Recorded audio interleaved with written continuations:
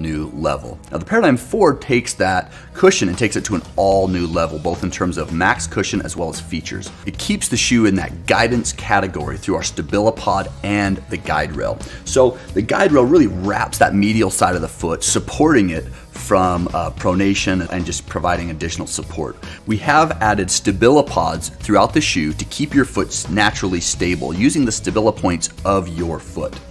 We have added our Ego midsole compound previously found in the Escalante, as well as a really unique knit upper. This shoe is very, very, very comfortable. It's stable. It's really great for rocking out those miles. The Paradigm keeps all the same features that make Altra unique. Uh, zero drop platform, uh, foot shaped toe box, as well as our fit for her last.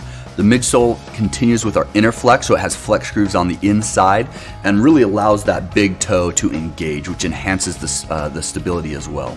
So this shoe is in our dynamic support category. We're really excited about this new Paradigm 4. This shoe, you can really just let comfort be your guide.